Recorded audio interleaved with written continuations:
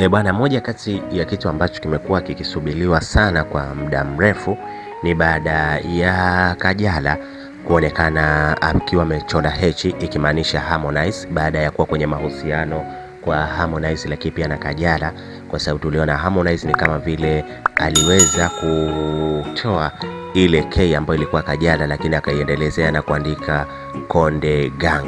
So unaweza kuona the way ambavyo Harmonize ameweza kufanya a lot of things, lakini pia kuhakikisha kwamba anaweza kufuta kabisa ile Kajala katika shingo yake. So unaweza kuona, lakini pia Kajala kwa sasa hivi anaonekana ile hechi haipo tena, na watu wengi ama wambea wengi wameweza kusema kwamba ameshaifuta, mbona hatuioni? So watu wengi wamekuwa wakiamini kabisa Kajala maybe tayari ameshafuta tatu ile pale ambayo imekuwa ikiandikwa H na ikimaanisha Harmonize. So unaweza kuona ambavyo mapenzi yameweza kuvurugika kwa Kajala, lakini na Harmonize, na watu hawa hapa hawawezi kurudiana tena.